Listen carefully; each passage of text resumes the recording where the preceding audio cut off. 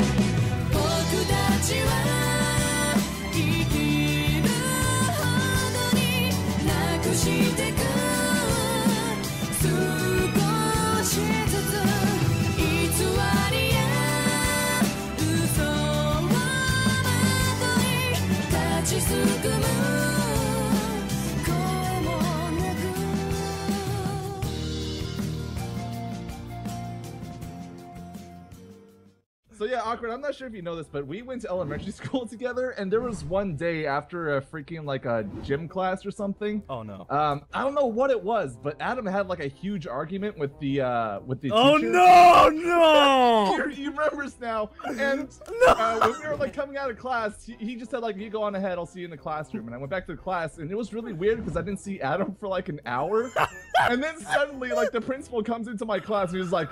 Uh, Jinbop, I need to speak with you. and I was just like, oh god, no, what have I done?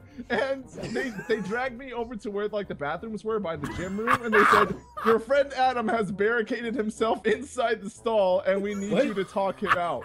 So they basically like hired me as a hostage negotiator, and I was like, Adam, come out of the bathroom. You're like, I don't want to leave. You can't make me. No, Miss Dashin was being me.